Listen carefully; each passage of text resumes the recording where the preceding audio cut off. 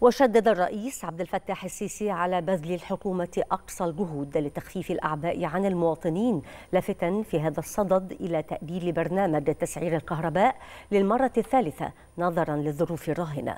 وأشار الرئيس السيسي إلى الدولة أن الدولة تتحمل أكثر من 50% لنحو 17 مليون وحدة سكنية. إحنا حريصين على إن إحنا نخلي أسعار الوقود وأسعار الطاقة. أنا هقول لكم على حاجة. يعني الكهرباء أنتوا مش مش خدتوا قرار بان أنتوا ما تزودوهاش؟ مش كده؟ آه يعني الدكتور مصطفى كنا بنتكلم في موضوع تسعير الكهرباء وقلنا إيه؟ تبقى دي ثالث مرة مش كده؟ ثالث مرة نأجل البرنامج لظروف عشان ما يبقاش حمل على الناس. مع الوضع في الاعتبار. أنا بتكلم على 17 مليون مشترك. مش كده ولا؟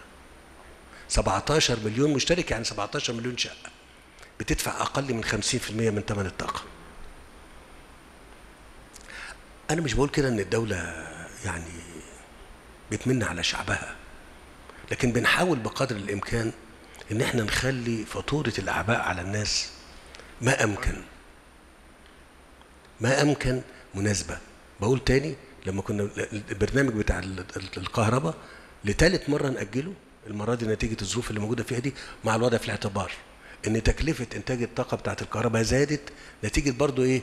ما هو النهارده الغاز اللي كان بيستخدم في ال في ال في الانتاج الكهرباء ثمنه أربع خمس أربع مرات؟ أكتر أكتر أربع مرات